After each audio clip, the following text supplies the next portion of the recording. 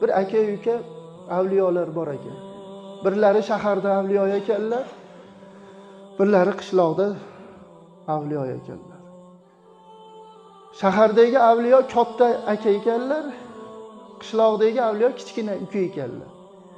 Akani ziyoratiga qishloqdagi avliyo uka sutni sog'arkanlarda durraga quyib kelaverarkanlar. Chini pini idish bidishsiz durrani o'zida ko'tarib kelarkan bir tomchi sut yerga oqmas ekan.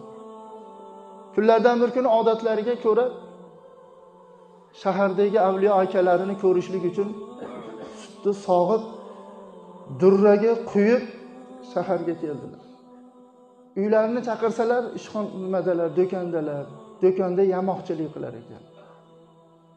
Yani do'konga borsalar shahar ayollaridan bo'lgan bir ayol kovushini yamatishlik maqsadida berib bir chekkada o'tirgan. Shahar ayollari tarangroq o'ziga qaragan jozibaliroq xushbo'y atir sepgan o'sha zamonda ham shaharlik ayolni paranjisi bilan qishloqdagi ayolni paranjisida ham farqi bo'lgan ekanda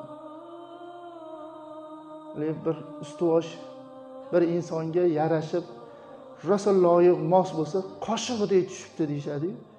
Paranjilar ham xuddi shunaqa qoshiqdek tushgan ekanda haligi opaga. Va o'zlariga qaragan taranggina bir.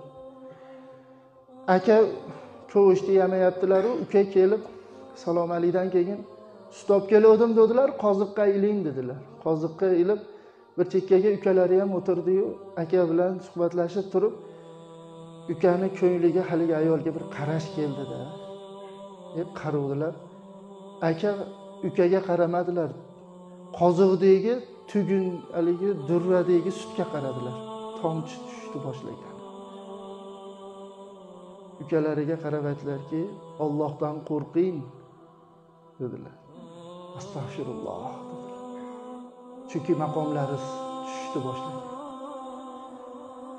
Ana shu joyda keltiriladiki bitta ayolga qarab qo'yishlik shahvat bilan qarab qo'yishlik nima qildi dedilar. Maqomlaridan tushirib durradagi idishsiz olib kelayotgan sutlarini tomchitishni boshladida.